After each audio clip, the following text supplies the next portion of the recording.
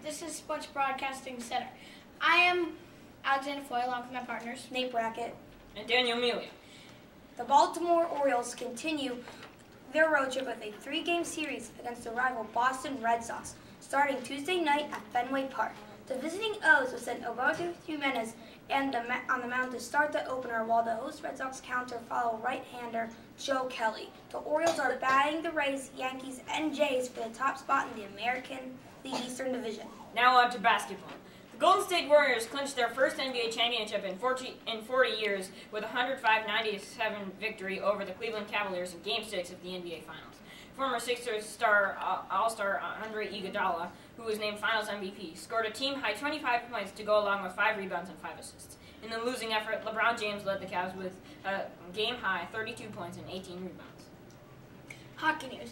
The Chicago Blackhawks defeated the Tampa Bay Lightning 2 to nothing in Game 6 of the Stanley Cup Finals to capture the team's first cup title. A uh, third cup title in six years. Duncan Keith and Patrick Kane scored for the Hawks, while goalie Corey Crawford stopped all 25 shots he faced during the shutout. Keith was named playoff MVP after he finished with 21 points while playing in more than 750 minutes in 23 postseason games. Football news.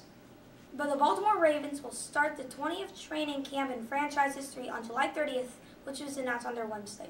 The Ravens will hold a three-evening practice for fans on August 3rd at M&T Bank Stadium. Training camp is scheduled to end on August 18th, while the Ravens travel to Philadelphia for three days joint practices leading up to the preseason game against the Eagles. And finally, Lexie Brown, an All-American guard last season for the University of Maryland women's basketball team, has announced she will be transferring to Duke.